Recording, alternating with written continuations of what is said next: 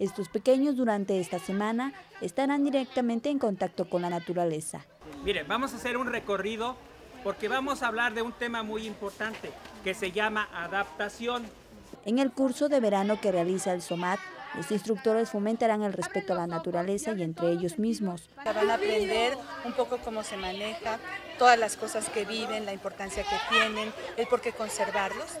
Y van a hacer una serie de actividades lúdicas. Los niños entre 9 a 15 años realizarán también actividades lúdicas, manuales y recorridos interpretativos.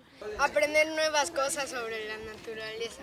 Yo espero que aprendan mucho sobre los animales, que les ayude mucho a la naturaleza y espero que cuiden más a los animales. El Jardín Botánico Faustino Miranda y el Museo de Paleontología serán objetos para recorridos y fundamentalmente para que los peques aprendan del manejo de algunos recursos. Ellos tienen varias, varias cosas importantes. Una de ellas es que los niños se diviertan, que pasen un, un, momento agradable, que sea diferente a lo que ellos tienen en las escuelas, que no sea una cuestión escolarizada, pero también que aprendan que vivencien, que sientan.